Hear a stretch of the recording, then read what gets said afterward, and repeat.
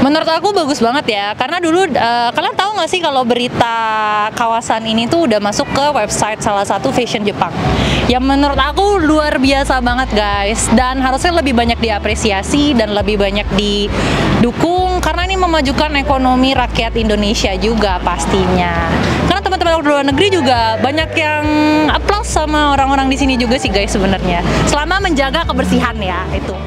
Yang penting kalau misalkan nongkrong di Sudirman gitu, jaga kebersihan aja, jangan buang sampah sembarangan aja gitu kak. Ya, menurut saya sih lebih bagus ya, ramai gitu ya, banyak pengunjung juga. Tapi uh, sarankan kalau pengunjung itu kalau banyakkan makan harus buang sampah pada tempatnya. Kira ya untuk untuk sekarang ini ya lebih inilah lebih keramaiannya lebih ada lah, jadi merasa hidup lah istilahnya dengan adanya kemajuan eh, gedung-gedung uh, atau dari pemandangan ada spot-spot yang lain untuk anak-anak muda sekarang gitu untuk kreativitasnya untuk untuk ke depannya gitu.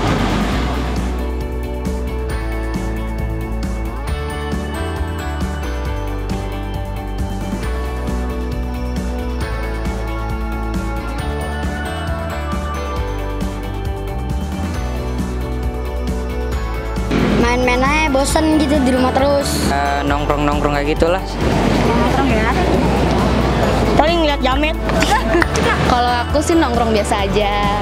Pas sama sih nongkrong, ngopi, ngerokok gitu teman-teman. Ya, ya Bonge minta tolong aja gitu yang buat nongkrong di Sudirman gitu. Jaga kebersihan aja, jangan buang sampah sembarangan Terus jaga protokol aja. Kalau pesan dari saya kalau nongkrong jangan lupa buang sampah pada tempatnya. Jaga lingkungan lah intinya gitu. Jaga kebersihan kak kalau mau nongkrong di sini? Yang buat yang belum pada nongkrong di sini mana ya kan? Jaga kebersihan sampah ada di tempatnya ya gitu doang kak ya kalau ke sini mah ke sini aja gitu nggak ada yang ngelarang. Sini aja ramein. Ya seru. Kalau mau ke Sudirman kalau kagak ada kartu beli aja lah kumpulin duit. Sokin sama gua sini bareng